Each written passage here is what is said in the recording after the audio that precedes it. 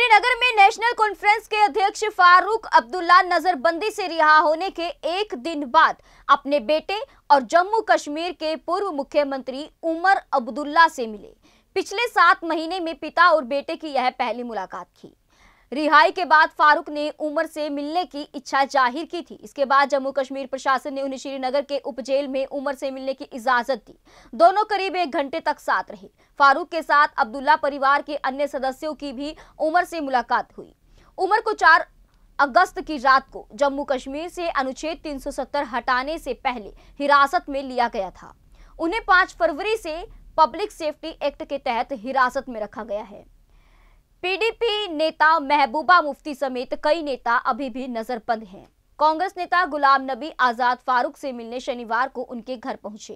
गुलाम नबी अगस्त से ही फारूक समेत कश्मीर में नजरबंद सभी नेताओं को रिहा करने की मांग कर रहे हैं। उन्होंने संसद के शीत सत्र के दौरान भी जम्मू कश्मीर के नजरबंद नेताओं का मुद्दा उठाया था। नजरबंद नेताओं की रिहाई के लिए सुप्रीम कोर्ट में याचिका लगाने वालों में गुलाम नबी भी शामिल है।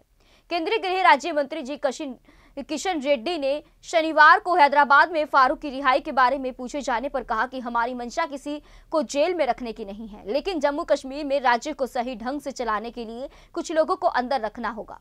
सभी नजरबंद लोगों को जल्द रिहा किया जाएगा। उन्होंने कहा कि जम्मू कश्मीर के लोगों को भी मूलभूत सुविधाएँ और विकास का अधिकार है। उन्हें समान अधिकार देने के लिए केंद्र सरकार ने अनुच्छेद 370 हटाने का फैसला किया।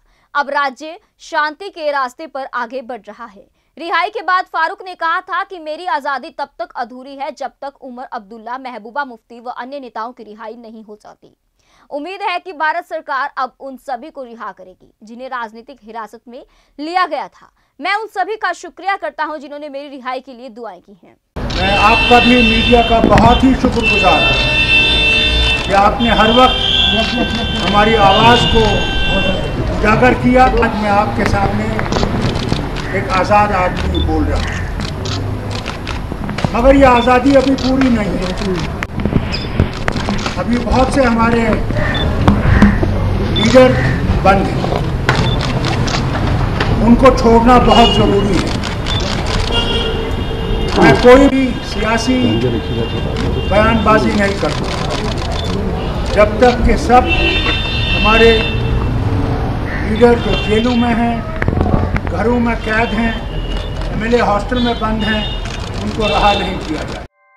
ऐसे ही लेटेस्ट खबरें पाने के लिए बेल आइकन को क्लिक कर हमारे चैनल को लाइक शेयर एंड सब्सक्राइब करें। धन्यवाद। JBD Banquets lie हैं incredible marriage palace Rajgharana and the finest banquet hall Jyoti Garden. World class catering, centrally air conditioned, lush green lawns, state of the art lighting. A perfect venue for wedding, launching and parties. Rajgharana and Jyoti Garden at JBD Banquets Enterprise.